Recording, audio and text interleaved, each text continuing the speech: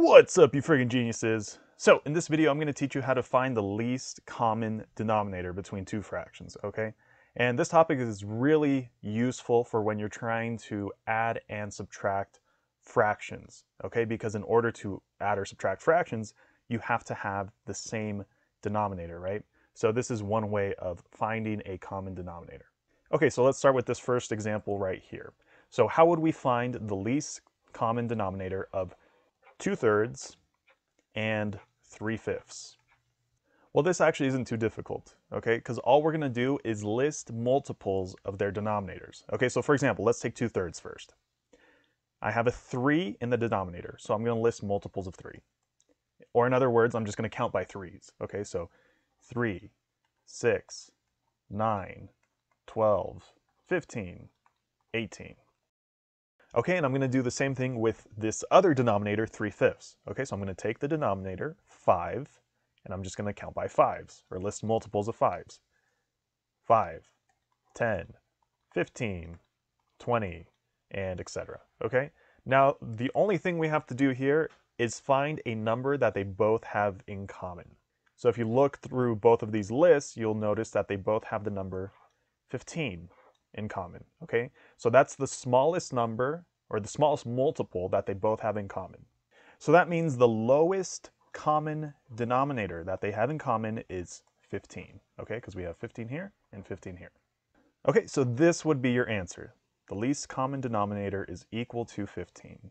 Now, in application, this is telling us we can change this denominator to 15 and we can change this denominator to 15. So how would you do that? Well, let's do 2 thirds first, okay? If we wanted to change the denominator to 15, we have 3 here, so we'd have to multiply by 5, right? Because 3 times 5 is equal to 15. But whatever you do to the bottom, you have to do to the top, right? So we'd have to multiply by 5 up here also. And then you could do the same thing with this fraction over here, 3 fifths. Okay, so I have a 5 in the denominator. How can I change that to 15? Well, I could multiply by 3, right? Because 5 times 3 is 15. But again, whatever I do to the bottom, I have to do to the top, right? And then if I simplified these, we could simplify 2 thirds first, right? What's 2 times 5?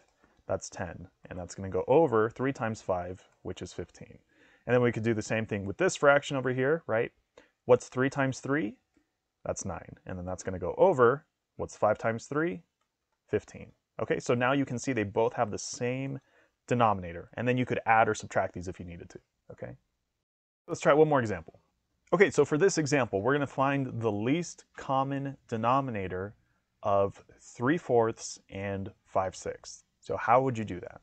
Well, again, all we're going to do is take their denominators, okay, so 4 and 6, and list out their multiples. Okay, so let's start with 4 first.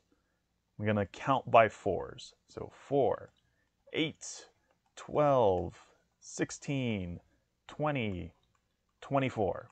Okay, I'll stop there. Okay, and now I'll do the same thing for this denominator right here, 6. Okay, so I'll count by 6's.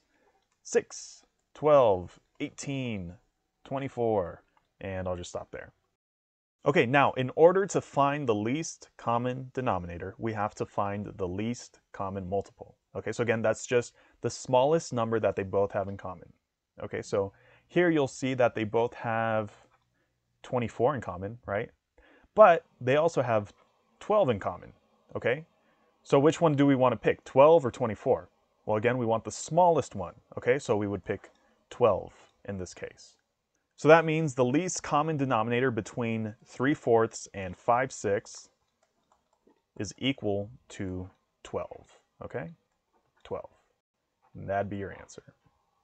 All right, guys, so that's how you find the least common denominator between two fractions. I hope the video was helpful. If it was, definitely leave a thumbs up down below. And if you still have questions, leave them in the comment section below and I'll do my best to try and help you out. Also, there's a playlist attached at the end of the video, so if there's any other topics you need help with, definitely check those out, and I'll see you there.